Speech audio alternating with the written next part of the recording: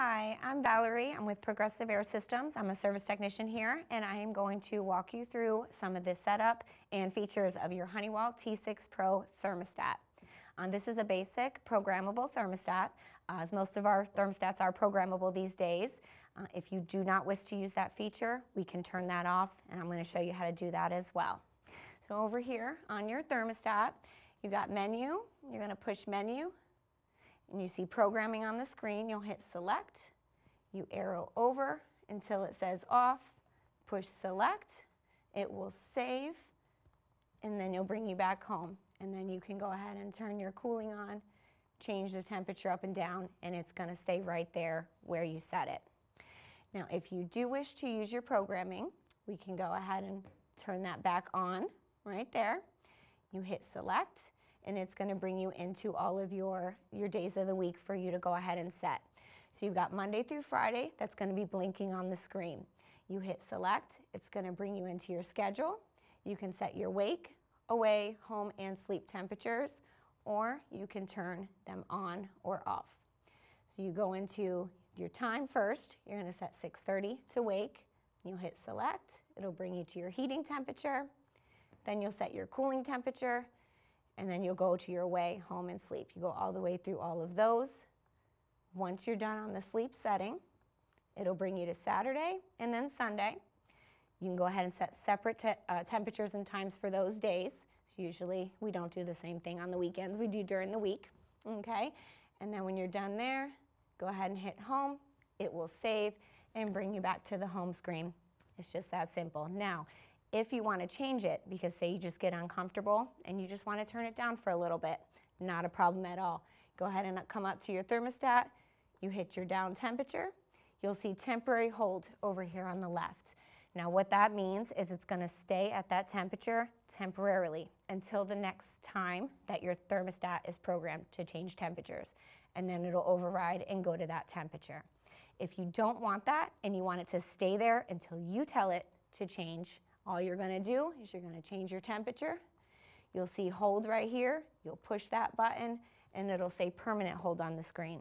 Now it'll stay there until you physically go into the thermostat and change it. Do that by going to menu and you see hold, you'll hit cancel and it'll turn off the hold and it'll go back to following schedule, just like that. Uh, one of the other cool features on this thermostat, it's called an auto changeover feature. So what that means is you can set your cooling to whatever your comfortable temperature is for cooling. You set your heating to whatever your comfortable temperature is. If it drops below your heating set point, it's going to automatically bring on the heating. If it rises above your cooling set point, it'll automatically bring on the cooling. You just push mode till you get to auto, and then that feature is active. One of the other things that happens on um, when it's cooler outside, the system doesn't run as often. And sometimes even if it's at your desired temperature, you still feel a little uncomfortable because the system's not running. Maybe it's a little stale air, humid in the home. What you can do there is you can take your fan and you can put that on a circulate option. And if the system's not running for an hour, it'll circulate the fan for you just to move some air around and get you feeling a little more comfortable in there. Okay, um, another feature on this thermostat, if you have roommates or kids like to touch the thermostat when you're not around, we can lock it. So you go to menu, you're just gonna arrow over till you get to lock. You'll push select. You can turn it on a partial or a full lock. And that'll lock the screen so nobody can touch it unless you put that password in.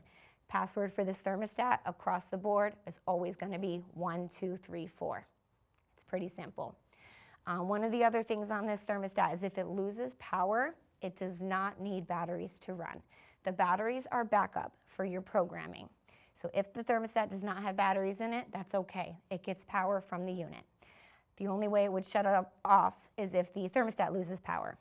Usually that happens uh, maintenance related issues. If you have a backed up drain line, it can trip the float switch and that'll shut the unit off. It'll cut the thermostat off. That way it doesn't flood your house and that's a safety feature. You know, we want that. We don't want any floods in the house.